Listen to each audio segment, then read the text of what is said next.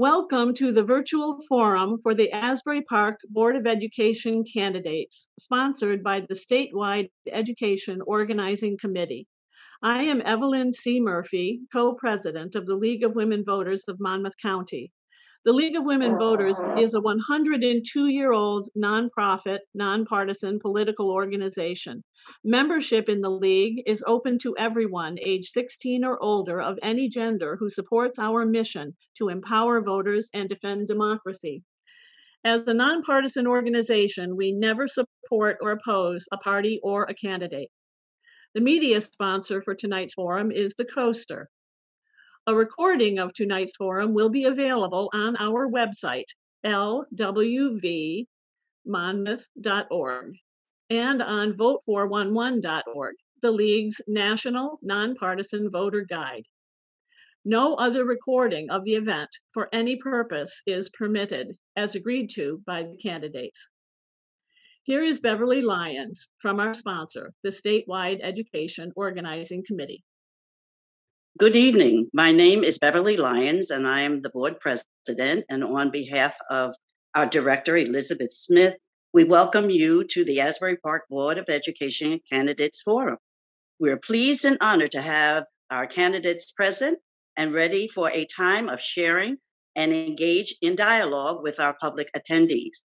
The Asbury Park chapter of the statewide Education Organizing Committee is a group of parents and other residents who are committed to improving the education of our children with the district and school board. It is my honor to introduce Susan Safaris, our moderator, and she lives outside of Asbury Park. Susan? Thank you, Beverly. And good evening, everyone. Tonight's candidates are running for three seats on the Asbury Park Board of Education. The successful candidate will serve a three year term on the board. Tonight's candidates, in alphabetical order by slate, are Mr. Victor Carey, who I don't believe was able to attend due to unforeseen circumstances. I'm not sure he was possibly coming later. Uh, Mr. Ramon Palmer, Mr. Tracy Rogers, and they are on the children's first slate, and Mr. Dominic LaRocca, Ms. Barbara Lisinski, and Dr. Michael Penna running on the Moving Ahead Together slate. The format for tonight's program is as follows each candidate will give a one minute opening statement. The time will be kept by our timekeeper. She will give the candidates a 30 second warning by holding up a yellow card that says 30 seconds. Followed by when the, the candidate's time is up, she will hold up a red card saying stop. And at that point, the candidates will have to stop their state. I'll let them finish their sentence, and then I will ask them to stop, and we'll move to the next candidate or question. Um, and after the end of the opening statements, the there'll be I will be posing some questions to the candidates that were submitted ahead of time by the audience, people in the in the town who are affected by this. Each candidate will have a one minute and be able to answer the question. They'll have one minute, and that same timekeeping process will take place. At the conclusion of the question period, which will be about 40, 40 45 minutes, each candidate will give a 90 second closing statement. The order of the opening and closing statements were selected at random prior to the beginning of the program. I also will vary the order of the answers to questions in order to afford as much opportunity to go first, last, and in between to all the candidates. Let's get underway. Our first opening statement will be given by Mr. LaRocca. Good evening. I'm Dominic LaRocca. I've been an Asbury Park resident since 2007. I've been on the school board for the last six years, serving as chair of the finance committee for the past four years. I have a bachelor's degree from University of Pennsylvania. I have a law degree from Rutgers University in Newark. I practiced law for approximately a decade out of state and then began a career in education, both teaching and being an administrator at the post secondary level, community colleges. As a vice president, I've managed large public budgets. I've run academic programs. I've created workforce development programs. My last career position was with Brookdale Community College. Upon leaving that, my wife and I created and ran a retail business in Asbury Park for six years. That essentially summarizes my experience that I bring to the school board. Thank you. Thank you. Our next opening statement will be by Dr. Penna. Hi, everyone. My name is Dr. Michael Penna, and I'm running for Asbury Park School Board. I'm thrilled to be on the ballot this year with current school board members Barbara Lazinski and Dominic LaRocca as the Moving Ahead Together ticket. I think we make a fantastic team. I am not a career politician. I'm an educator, I'm a high school teacher, and I teach students with disabilities and special needs. The Asbury Park School Board has been working tirelessly to improve academic performance of all students. And if I'm elected to the board, I will continue to support those initiatives and look for ways to improve them. In recent years, the performing arts programs have dwindled within the district. And as an educator of performing arts and a professional actor, I fully believe that arts education is fundamental to a student's growth. So if I'm elected to the school board, I will do everything I can to revitalize the performing arts program. I decided to run for school board because I wanted educators and the education community represented on the school board. I wanted members of the LGBTQ plus community represented on the school board. I'm a proud member of that community. And that is why I hope that this election you'll all vote for Barbara, Dominic, and myself because you share our vision for Asbury Park School District. Thank you very much. Thank you. Okay, our next opening statement is from Ms. Lazinski. Good evening. My name is Barbara Lisinski. I'm running for re-election to the Asbury Park Board of Education. I'm a 37-year resident of Asbury Park. I was a dispatcher with the police department for 17 and a half years. I started the first National Night Out Against Crime, um, the first Make a Difference Day, served as a Housing Authority Commissioner and Chair, and an Asbury Park Toy Drive trustee for 20 years. The Toy Drive served over a thousand children each year, which I was honored to be a part of. I'm dedicated to this community. I'm also a retired teacher. As a current board member, I am proud of the progress the district has made in improving educational opportunities for students. Our ch- children and families we serve need our support. This election is very important. Dominic, Michael, and I have the educational backgrounds and experience to continue to move this district forward. We are Blue Bishop proud. Thank you. Mr. Palmer will give our next opening statement, please. Good evening. My name is Ramon Palmer, and I am with the Children First Ticket. I'd like to thank the League of Women Voters, the Coaster, and the Statewide Education Organizing Committee for giving us the opportunity to speak tonight. I've been a resident of Asbury Park for over 50 years.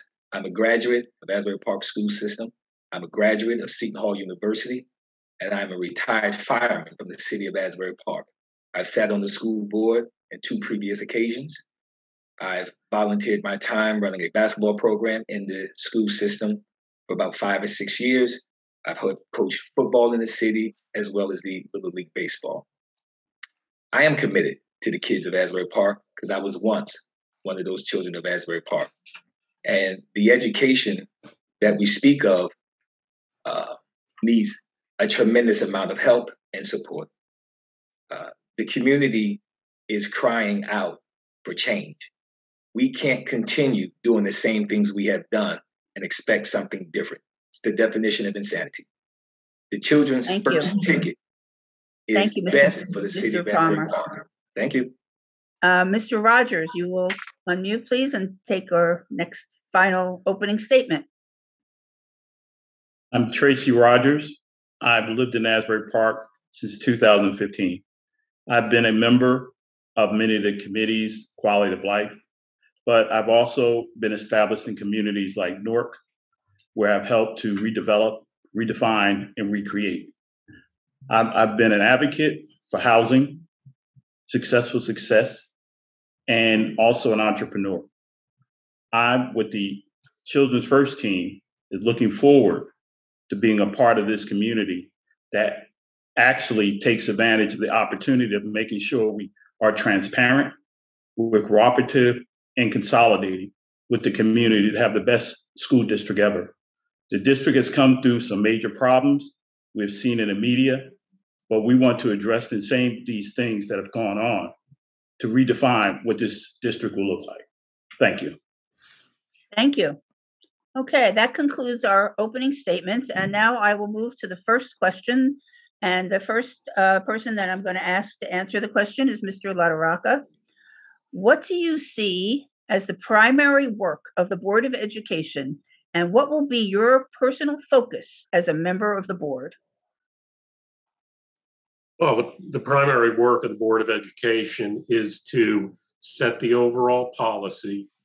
It is improper to micromanage, to set uh, individual interests above the greater policy interests. And those policy interests should be those things that you are uh, confident will best serve the academic interests of the students.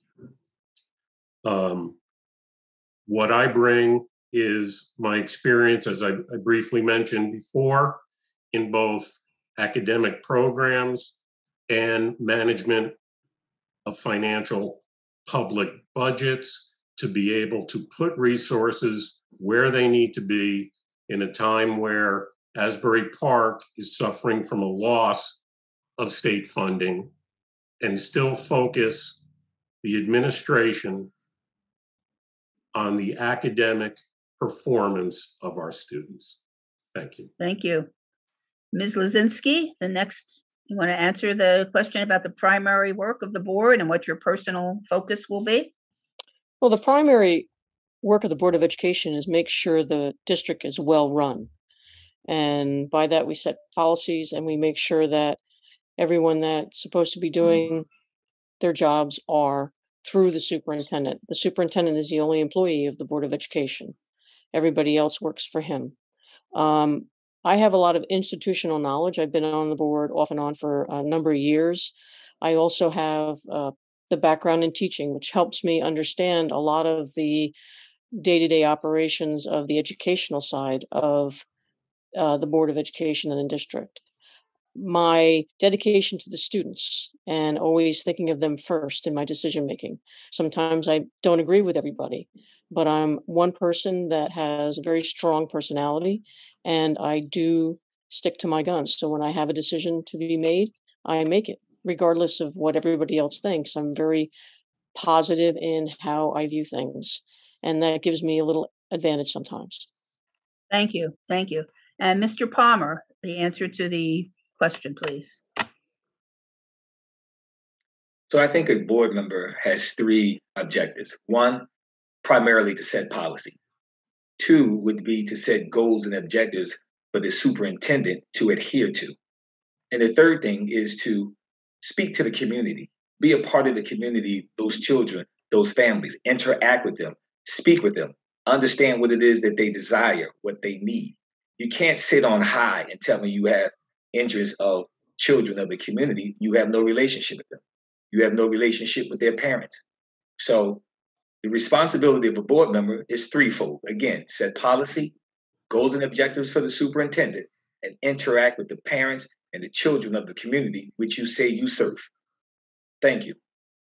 Thank you. And uh, Dr. Penna. Um, I agree with both my running mates that obviously the role of the Board of Education is to set policy and um, to work with the superintendent. Uh, I come to this uh, position as a teacher currently, working as a teacher, working with kids with disabilities and special needs. And so I have the understanding of both what the students need and what the teachers need. And so sitting on the board, I, I'm able to work with both sides and be able to understand that, of course, the students always come first, and what they need is what we should be working every time that we can to make possible. I also bring to the table um, performing arts. I talked about in my opening statement that the performing arts program in the district has dwindled over the years, and I would really like to see that become something special. Um, the performing arts is a safe space for students. It's a place where students can find a home, and I believe there is so much work that can be done to revitalize that program. Thank you. Thank you. Okay, uh, Mr. Rogers. Uh, I believe, as as Ramon Palmer had stated, our policy is one to create policy, number two to give direction, and a supervision and an outreach uh, for the superintendent. But the third, and it's the most important, is the community interaction. You cannot actually uh, achieve anything in this district unless you know what you're achieving. And when you don't see that from the community, you don't hear that from the parents that their children are being educated well, they're being taken care of, and they're provided the best education possible, where they see they will be able to reach an out peak above and beyond what a normal situation is. So our, our position is to definitely is to make sure we connect all those things together and to make sure that the community has a voice in this direction of the school. Thank you. Okay, uh, the next question, um, and Mr. Rogers, I will ask you to answer this first this time. And the question is, what is your vision to engage parents and the community? How do you propose to accomplish that engagement? Well, the district uh, during COVID had admitted that they did not have uh, a reach to the children because they did not even have correct phone numbers and uh, accessibility of knowing who their parents were. One, the first thing is policy for us is to make sure that we have a communication, open and honest dialogue with the community and outreach, as we know where they live, we know what their needs are, and we have a direction for these children to have a better outreach during afternoon and during uh, times when they will be looking at other things and not having the educational time. So we want to make sure that we continue to make sure that the direction is centered on children in the direction of education to provide more opportunities for them to be involved in the community. Thank you. Dr. Penna, you take the next spot, please. Sure. Um, just like I think everyone here is saying, uh, the most important thing is to communicate with the community.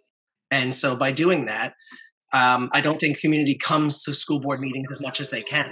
Uh, they actually probably don't even know they're happening.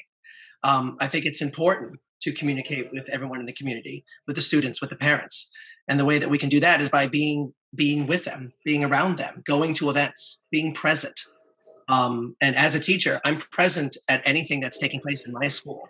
So as a school board member, as much as I am humanly possible and able to, I'll be present at anything that is happening, whether that's sports events, whether that's events that are taking place hopefully with performing arts, and getting to know the community, getting to know the students, and getting to know all the teachers so that we can better serve them and work with the superintendent. Thank you. And Mr. Palmer? Yes, um, you have to be able to deal with the community, uh, but there's many facets to the community. So you have to talk to the children and their parents. There was a, you know, there was a football game that got canceled on September 2nd. On September 9th, there was a home football game, and only two board members out of the nine showed up. And two of the board members here tonight were not there. The superintendent was not there. How do you say you support children, you support the community, and you don't show up? That would have been a great opportunity to show the community that you're there for them. I was there. I go to games. I go to different events in the, in the community. I walk the streets. I talk to the people who send kids to the district. Again, there are other stakeholders in the community that you have to build a relationship and a rapport with. But in order to understand how to set policy for the ones that's needed, you need to talk to their parents. You need to sometimes speak to the kids. You need to be around those of them that you are serving and not sitting on high and making decisions for people that you have no relationship with. Thank you, Mr. Palmer. And Ms. Lazinski?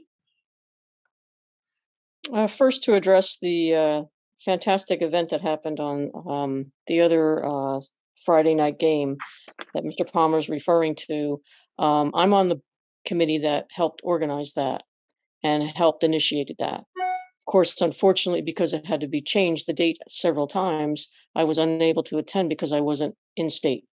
So, but I heard it went exceptionally well, and I'm glad it did because we try to honor former students as well as present students.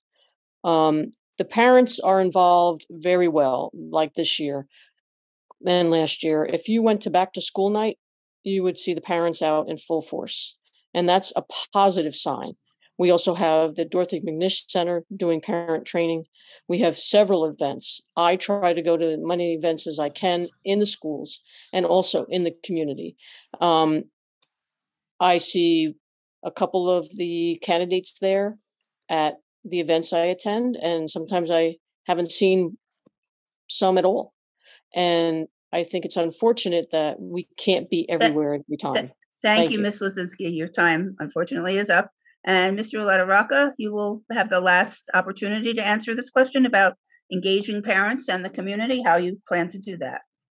Okay, well, we do it in, in a variety of ways. So like almost every other school district, as Barb mentioned, we have back to school night. Uh, I was at the high school back to school night and I heard the high school principal say, anyone at any time can email her and set up an appointment and meet with her. We have an administration and we have a board that's open to everyone. Uh, i- is every event attended by every individual? Um, no. Other communications are through social media, through sending communications back with the students. We've increased those efforts. We've held town halls to, to address certain issues. So we're doing quite a bit with regard to the community, whether individuals care to acknowledge it or not. Thank you. Thank you. Okay, uh, the next question has like a, a def, uh, some verbiage before it, so I'm going to read some some words and then I'll ask the actual question. A number of voters submitted questions about special education and the impact of budget cuts on the district's most vulnerable students. Cuts to child study teams and related services, cuts to paraprofessionals for students with severe disabilities, increasing burdens on special education supervisors, leading to resignations, and cuts to speech therapy, occupational therapy, and physical therapy. What will you do to ensure the district is addressing and meeting the responsibility to follow policies that are transparent and inclusive of the entire student population? And in my random order, Mr. LaRocca, you are up first. Well, with regard to the reference to the various cuts, as I mentioned, Asbury Park has lost $26 million in state aid. We have therefore had to reduce the operating budget, and we have done so by $18 million, from 68 million to 50 million. In doing that, you are going to lose individuals you would prefer not to.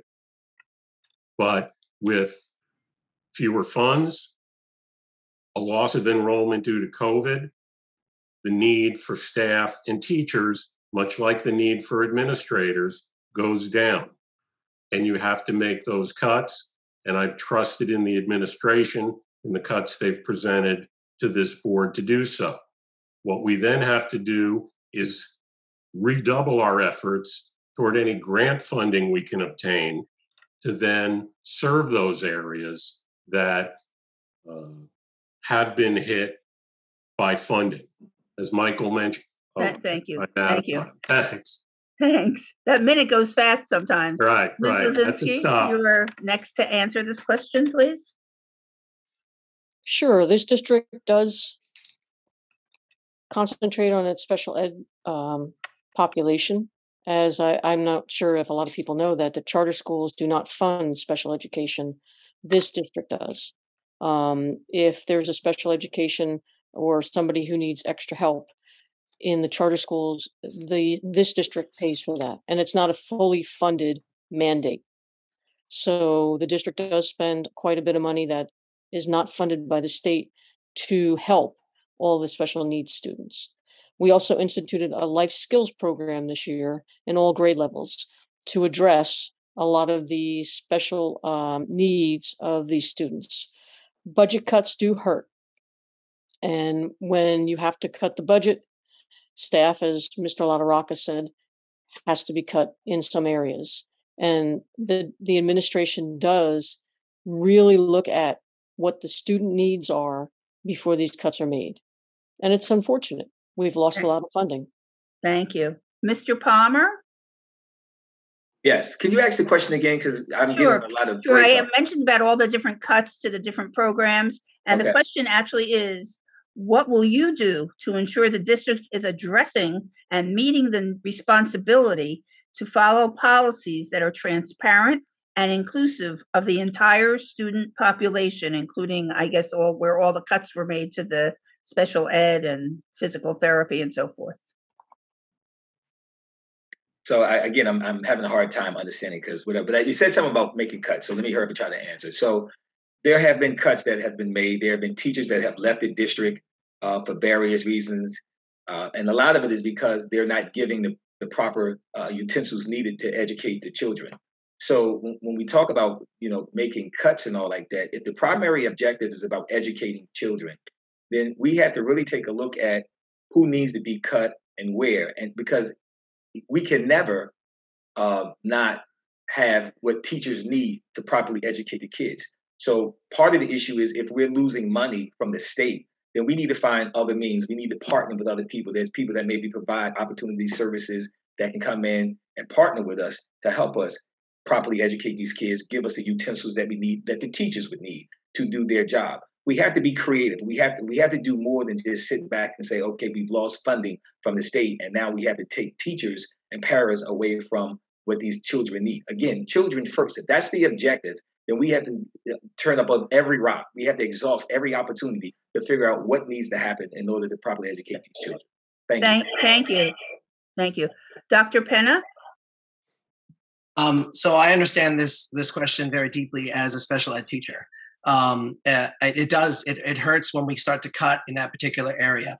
Um, but with as my running mates had said, since they're current school board members, um, millions of dollars were cut from the budget that we have here in Asbury Park.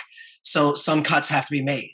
And I am sure that they worked with the superintendent and administration within the schools to figure out where the best place was to make those cuts. I'm sure that the special ed students still have the resources that they need, the amount of teachers that they need based on enrollment and what we have in the schools.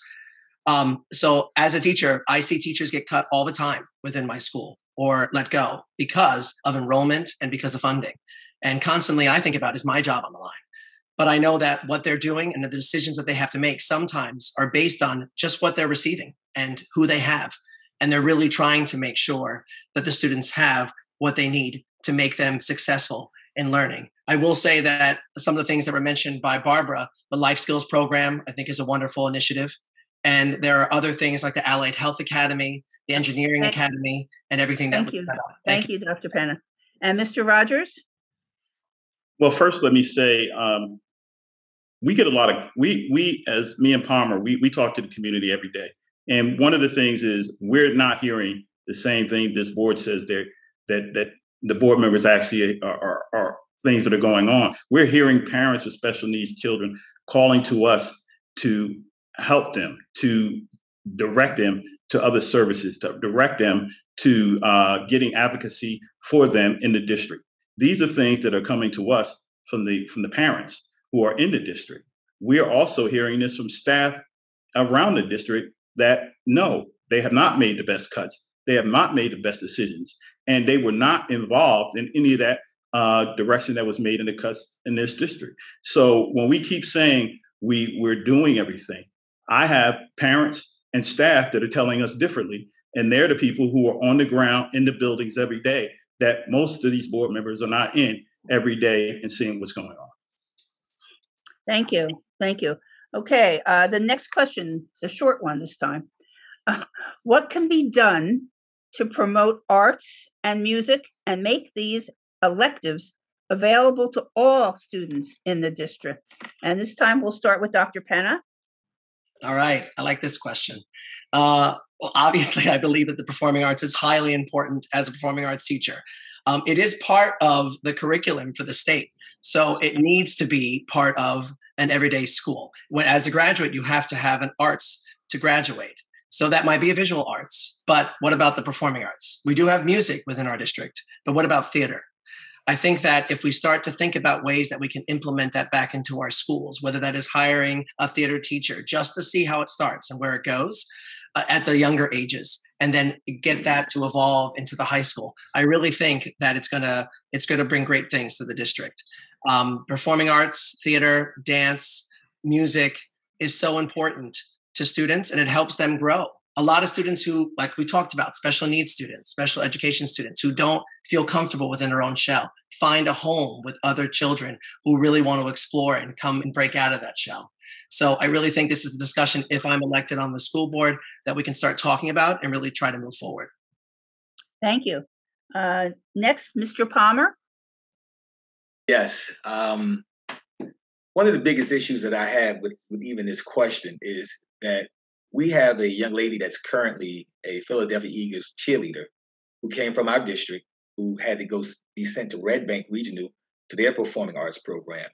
But we need to acknowledge those of them who have left our district that have gone on to be able to do these type of things. So I am absolutely an advocate of trying to bring those type of things into our district. Um, you you you you have to want to have those kinds of programs into the uh, community for the children and all like that because there's opportunity to go to college to further your education, job opportunities. But we also need to follow those of them who have gone on to do these things, acknowledge them, bring them back into the district, let the children see that they exist, that they're real, that they they too sat in the same seats that they sat in. And maybe you can build a relationship and a rapport with the organizations that they work with that would help finance, that would help send individuals and people here that can help grow that type of uh, opportunity here for our kids. So again, when you when you know the community, when you have relationships with the parents and the kids, you would know that we have a cheerleader for the Philadelphia Eagles of Asbury Park. Thank you. Thank, thank you, Mr. Palmer. Ms. Lazinski, Could you just repeat the question for Sure. me? so what can be on done to promote the arts and music, arts, arts and music, and make these electives available to all students in the district? Well, right now we do have uh, the music teachers in the district that started in all grade levels. We also um, just initiated the graphic arts again. We did have performing arts quite a while ago, and because of reorganizing courses and things, um, the performing arts um, kind of went by the wayside. I think it's very important to have kids act, enjoy being someone else, perform in front of a crowd. It's good for esteem. It's good for public speaking.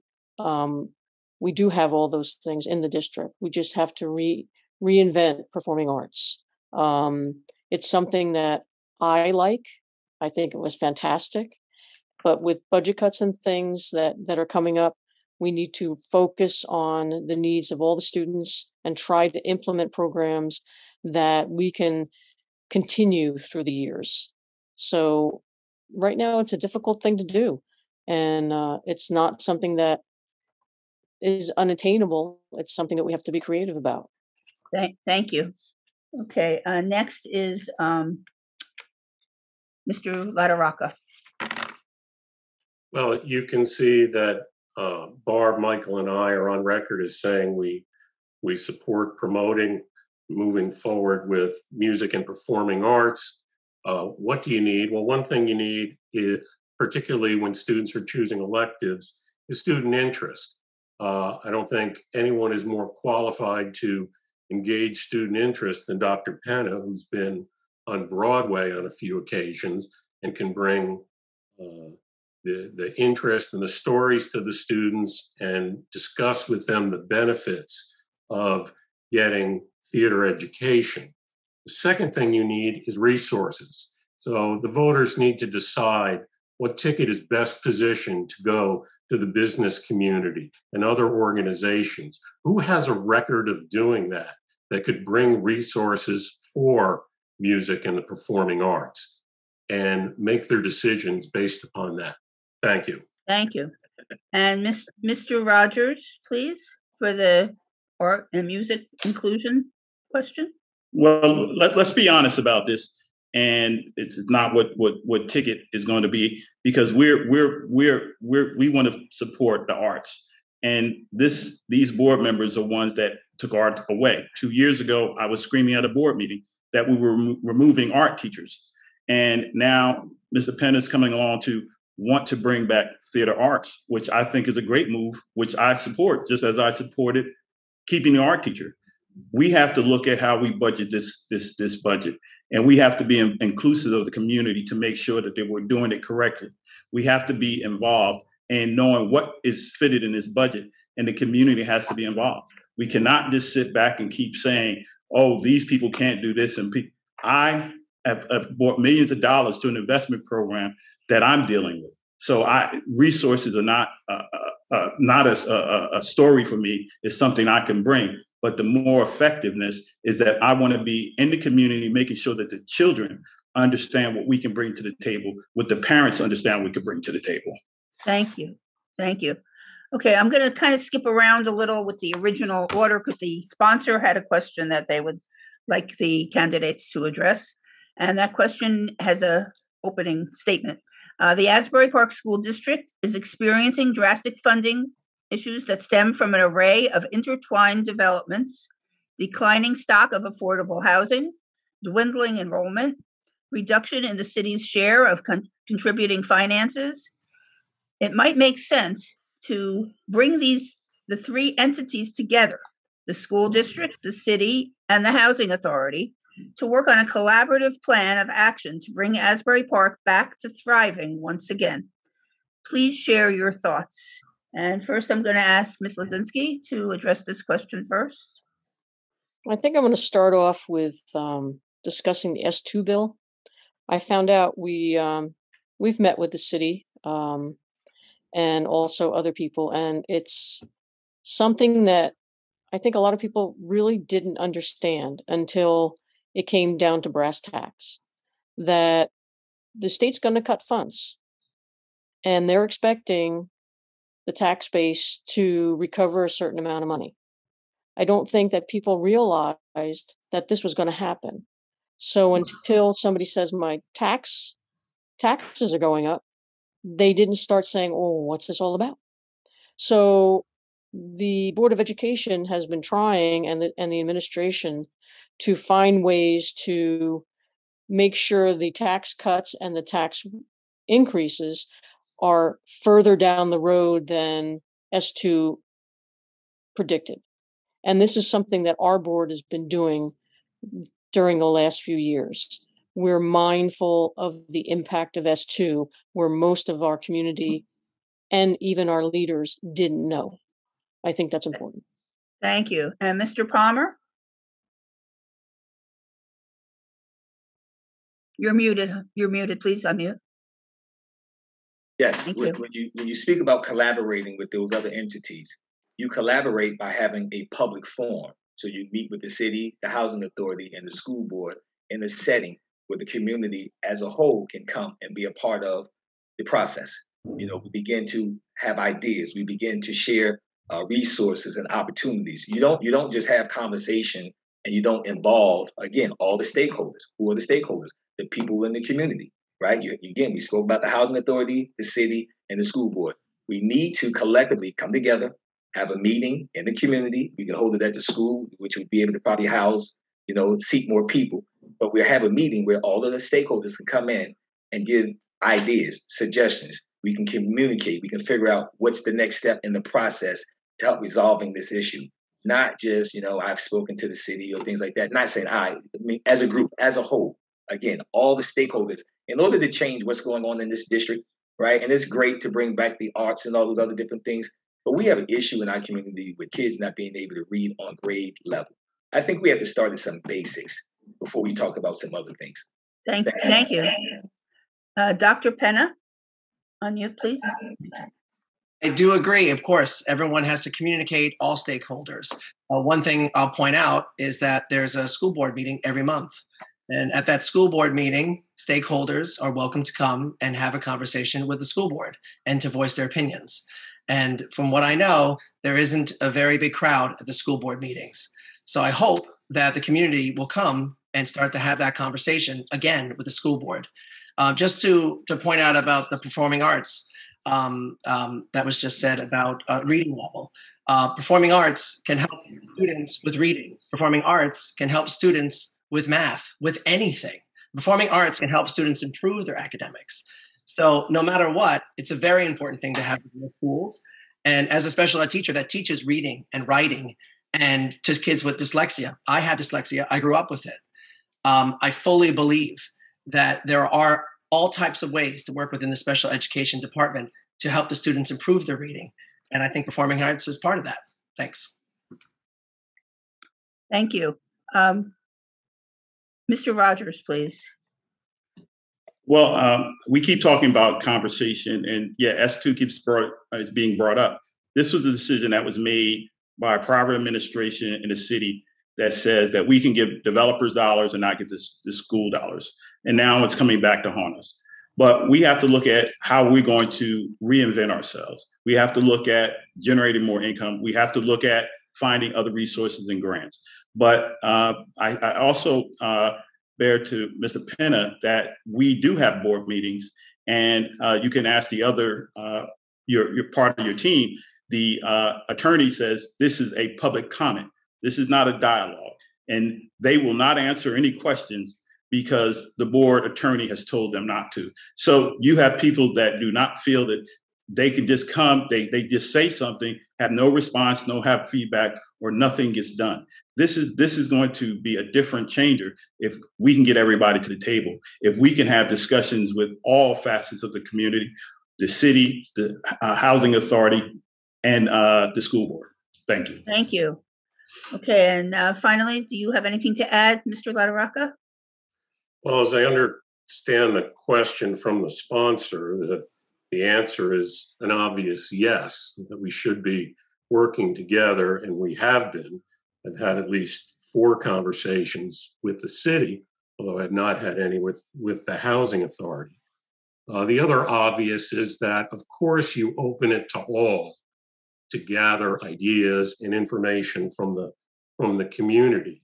But if Mr. Palmer is suggesting that that therefore results in a plan and an agreement among two public entities, I, I greatly disagree.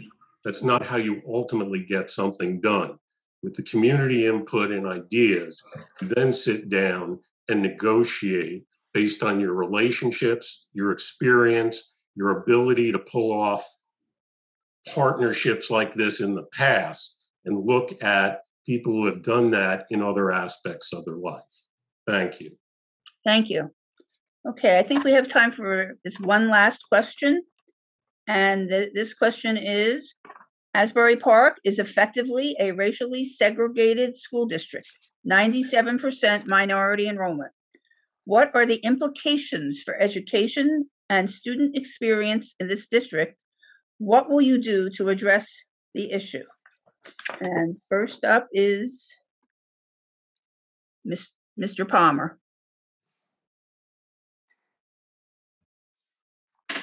Okay, so yes, absolutely. Asbury Park is a segregated school system. During the time I was in school, we had people from Deal, Allenhurst, Bradley Beach, Avon, Belmar, sending districts. So there's a social aspect to learning academically, right? Just because you know you when you're around other people, you learn other things, music, conversations, you know, their background, who they are. There's there's a broad thing of learning, not you know when you're in a segregated school system. So we want to bring about a change. Now, one of the things I'd like to do is bring um, vocational to our school system, right? You bring back the auto mechanics, wood shop, different things that, again, it helps in um, teaching young people to have a skill to go out into the world to survive. So just like there's other districts that have programs, then other kids may want to come into Asbury to utilize our programs, again, which would give us money. And then again, it would help offset some of the segregated segregation that we have by bringing other diverse students into our district. So we want to try to bring programs in that would entice others to come into the city, which would also bring us money, which would help with the loss that we're getting from the school, I mean, from the state, but it also okay. will help the kids of Asbury Park as well. Thank you, Mr. Palmer. Ms. Lasinski?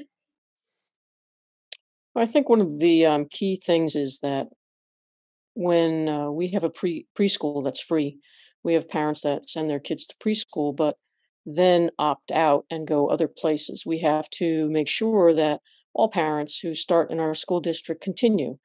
Um, I think one of the reasons this happens is the bad publicity that people seem to perpetuate that is unfair to our staff, our teachers, our families, and our students. We have a wealth of intelligence in our school. We have good kids. We have great teachers they they succeed. Yes, you know, it's not some of the more wealthiest districts in Monmouth County. But we have kids that earn college associate's degrees before graduating high school. They get CT, they get uh, certificates so they can go to nursing nursing field when they graduate. We have kids that are able athletically to go to a college. We have kids that do careers after high school. Thank you. They Ms. Lozinski. need more promotion. Thank not- you, Ms. Lozinski. Uh, Mr. LaRocca? This is a critical time for Asbury Park. The schools are primarily African American and Latinx students, and yet the the town has come back. Property values have, have skyrocketed, and primarily uh, white population now um, is involved in the city we need to engage both sides.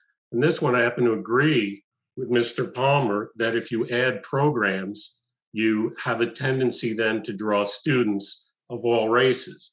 And that's exactly what we've done with an Allied Health Academy, an Engineering Academy, and the Dream Academy, whereby students get over 60 college credits and Associates of Arts degree as they graduate 12th grade from Asbury Park High School piggybacking off what Barb says, we need to get that message out more and misinformation. Thank you. Thank you. Mr. Rogers?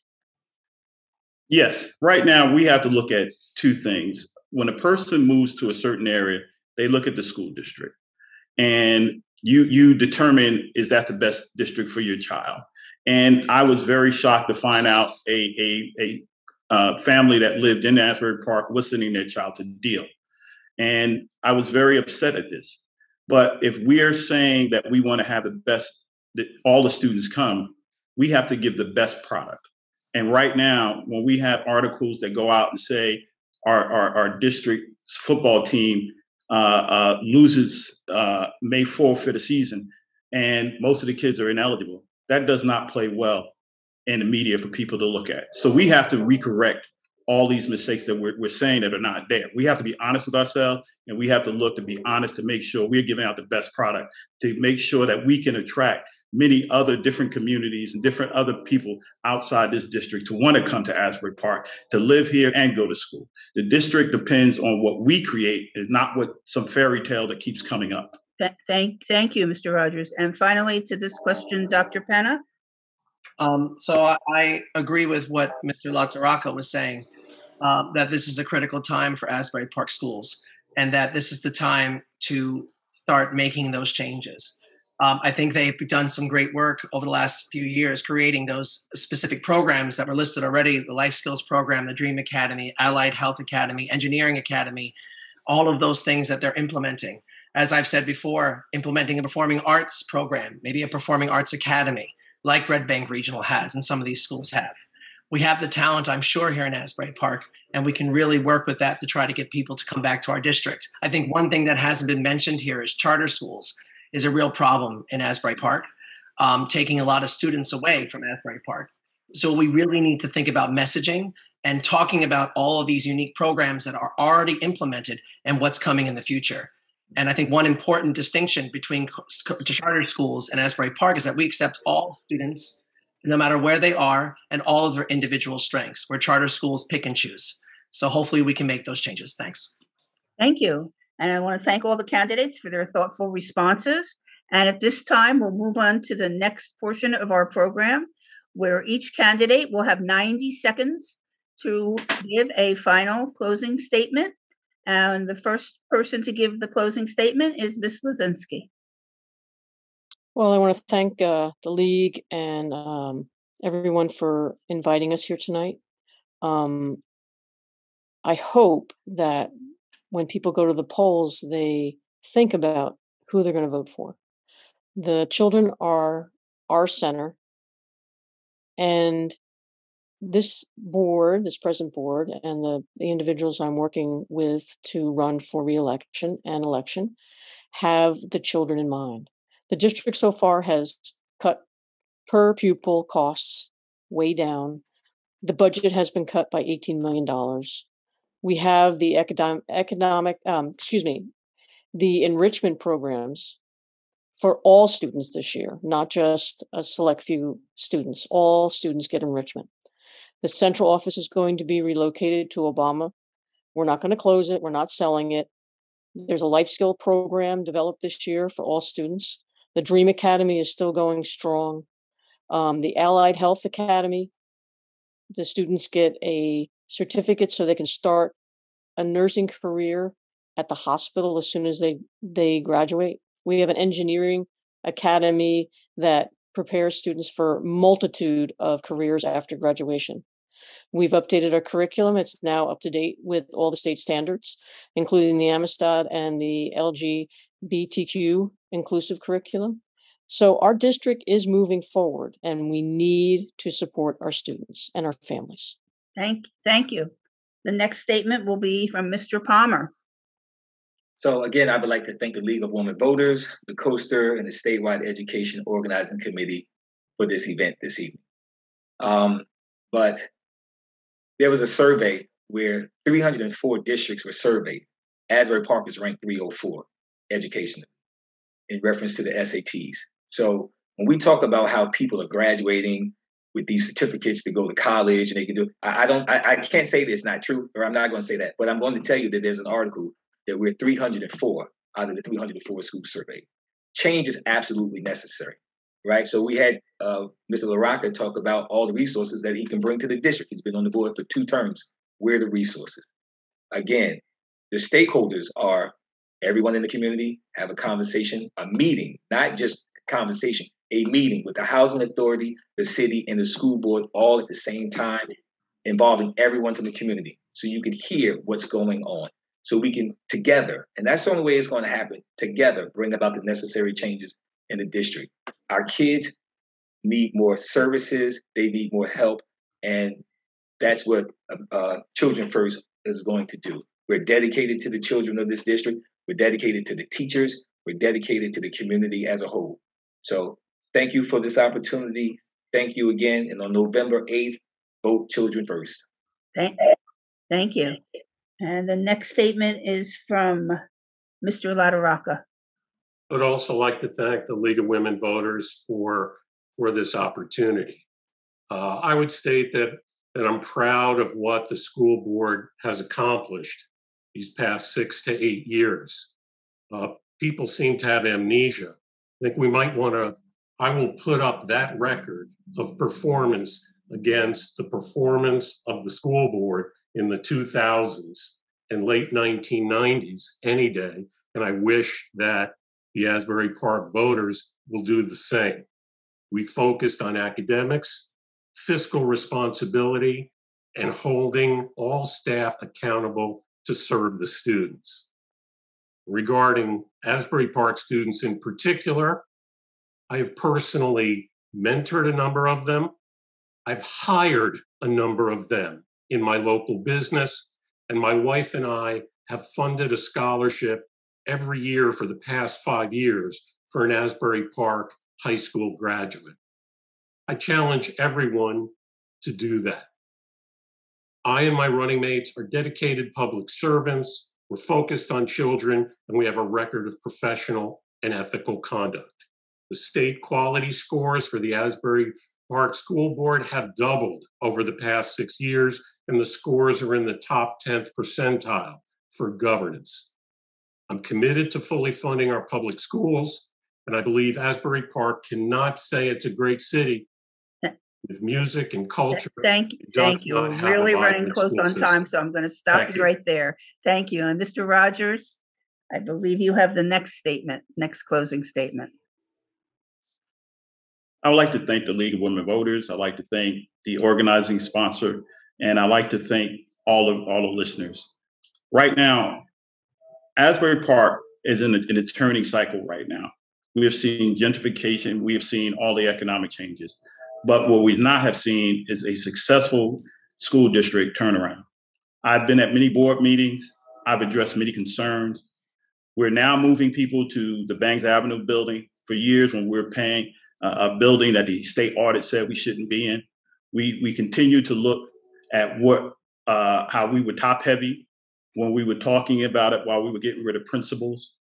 We, we, we've discussed these things over and over again, and it takes three to five years to get anything done. Right now, we need to examine what needs to go into this district to make it successful. We have had opportunities, but your biggest, we've said it, everyone said here, that the representation of what we're doing. Let's speak to the children and the parents. Let's ask those parents do they think that Asbury Park is the most successful district that they can go to? No. Most, most of them have other opportunities to go to, or they go to the charter school. The charter schools have, have stolen our kids. If we're the best product, we would be gaining those kids back. We would be controlling where our students are going. We have to be the direction, we have to be the leaders, and we have to be honest with ourselves and this district. Thank, thank you. And finally, Dr. Penna. Uh, I'd also like to thank the League of Women Voters, and I'd like to thank all the candidates here tonight for having a great conversation. Again, my name is Dr. Michael Penna. I'm running for Asbury Park School Board. Again, I'm thrilled to be on the ballot this year with current school board members Barbara Lazinski and Dominic LaTaraka as the Moving Ahead Together ticket. I think we make a really great team, and we're going to bring brand new ideas and a balance to the school board. Uh, again, I decided to run for the school board because I wanted to see educators and the education community represented on the board. I wanted to see members of the LGBTQ plus community represent, represented on the school board. Uh, and that is why I hope that this election you will vote for Barbara, Dominic, and myself because you share in our vision for the Asbury Park School District. You share an understanding that diversity and inclusion are important in a community because diversity deserves equality. You share in knowing that empathy and kindness are essential in our communities, and to share in the understanding that we must all move forward together. So please vote Lazinski, Penna, and LaTaraka in this election and help bring balance and continued growth to the Asbury Park School Board. Thank you. Thank you. And I also want to thank all the candidates and the sponsors. And I hope everyone has had an opportunity to hear what the candidates' views are. And I will now. Thank you. And I will, we will be putting up a final uh, visual, visual where I will speak to the um, few words about voting in the upcoming election. In order to vote, you must be registered by Tuesday, October 18th. For registration information and forms in Monmouth County, visit monmouthcountyvotes.com. There are three ways for registered voters to vote you can vote by mail. The, to receive a vote by mail ballot, follow the instructions at monmouthcountyvotes.com. You see the link here. You can return your ballot by mailing it or by placing it in any of the drop boxes in any place in Monmouth County or by delivering it in person to the Board of Elections at 300 Halls Mills Road in Freehold. You can vote in person in early person in person early voting before November 8th, you can cast your ballot by using a voting machine at any early voting site in Monmouth County, which are found at this website also, during the nine day early voting period, which starts on Saturday, October 29th, goes through Sunday, November 8th. Choose a time that is convenient for you. There are long hours at these uh, at these early voting sites, or finally in person on election day, Tuesday, November 8th, you can cast your ballot using a voting machine at your assigned local voting site, different than the early voting sites in some cases. Polls are open on election day from 6 a.m. to 8 p.m. For any questions you might have, you can go to the monmouthcountyvotes.com site. And uh, as a moderator for the League of Women Voters, I thank you for your attention tonight. Good night.